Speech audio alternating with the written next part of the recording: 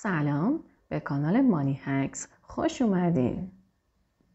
توی این ویدیو می‌خوام در مورد صرافی ارز دیجیتال نوبیتکس براتون صحبت کنم. خب وارد نوبیتکس میشیم و صرافی نوبیتکس واردش میشیم. خب می‌تونید اینجا اگه ثبت نام نکردین ثبت نام کنین. اگر هم که قبلا ثبت نام کردین ورود رو می‌زنین. خب من الان ویدیو رو پاز می‌کنم که اطلاعاتم وارد کنم و وارد این صرافی درجه یک بشیم.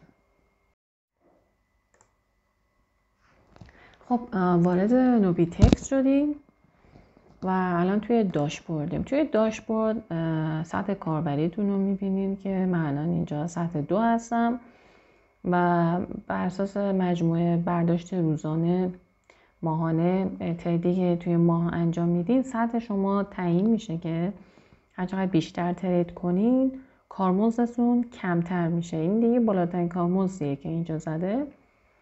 خودش در ارزش معاملات سی روز. پلی بعد ده میلیون تومن یعنی که ده میلیون تومن توی ماه ترید کنین. اینجا نوشته. آره. اگه در ماه کمتر از 10 میلیون ترید کنین اینقدر کارمزده 10 تا 50 میلیون اینقدر کارمزده بین 50 تا 100 میلیون 25 دهم درصد و بیشتر از 100 میلیون هم دو دهم درصد.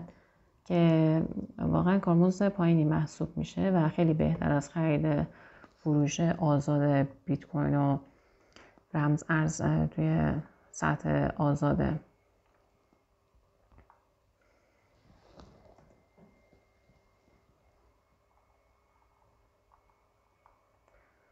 خب حالا کجا بریم؟ خب.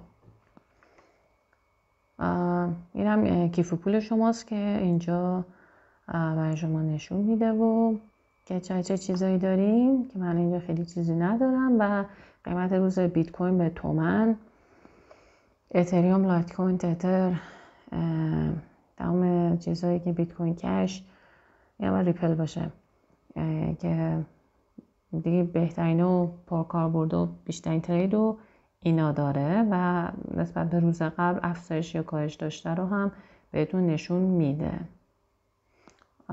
دوستان اگر از این ویدیو خوشتون اومد لطفا like کنین یا اگه دوست داشتین ما رو subscribe کنین. ممنون.